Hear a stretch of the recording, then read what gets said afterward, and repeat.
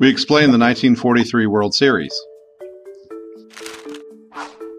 1943 was a year that continued to show the struggle of African Americans to gain equality and acceptance in a racially divided society, despite America being at war to eliminate racial hatred and inequality in the rest of the world.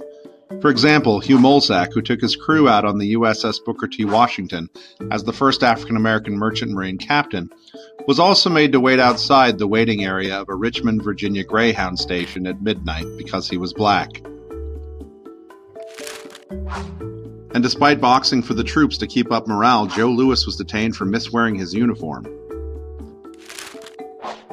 Much like the Zoot Suit riots in LA and the Hispanic community, deadly race riots broke out in Detroit, Beaumont, and Harlem over housing, employment, and policing issues in the African American community. There was positive news as Thurgood Marshall fought school segregation in Hillburn, New York.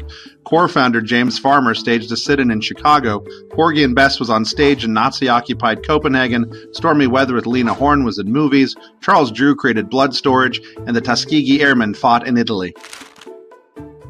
In the midst of all this news and change, the Negro National League Homestead Grays went up against the Negro American League Birmingham Barons in the Negro League World Series of 43. Candy Jim Taylor's Grays came off a 97 25 season, and depending on the records, Josh Gibson hit a 503, had 10 22 home runs, 6 triples, 21 33 doubles. They also had the strong bats of Buck Leonard, Jerry Benjamin, Howard Easterling, Jud Wilson, and Sammy Bankhead. On the other side of the diamond was Winfield Welch's Negro American League champions, the Barons. They'd defeated the Chicago Giants to win the pennant. They were a pitching team, with Grady Lefty McKinnis, Andy Gibson, who'd had 20 strikeouts in one game, and John Huber.